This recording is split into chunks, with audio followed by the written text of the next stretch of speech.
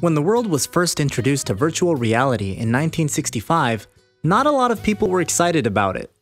Even after making a major breakthrough in 1995 with an attempt to bring video games closer to reality, it was only in 2012 when Oculus started a Kickstarter campaign to develop it further, and Facebook subsequently buying it out, it had become a success. Now, in 2016, with tech industry giants like Samsung, Google, and HTC entering the VR picture, industry experts are proclaiming that the age of virtual reality has finally begun. That is why we, at Virtual Spaces, want to bring this technological revolution to the real estate industry. Fed up with the way the real estate industry works? We want to disrupt the way people approach it.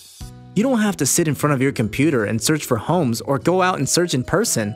We have built a VR application that will help real estate builders and developers to showcase every configuration that they have. Plus, the master plan, so that consumers can get an immersive experience of their dream home they want to buy.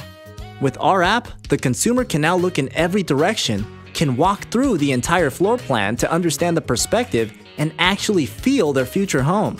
Not just that, we also have made space for interior designers, planners, and architects to collaborate better without wasting any time and efforts. The application is also ready to be used for commercial office and commercial retail space as well.